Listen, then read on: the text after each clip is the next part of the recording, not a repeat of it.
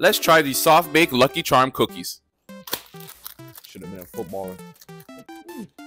This is how it looks. So you see like a little bit of marshmallow bits inside of it. Mmm. Yeah, this is good. Dough is really soft. I rate this a 9.5 out of 10.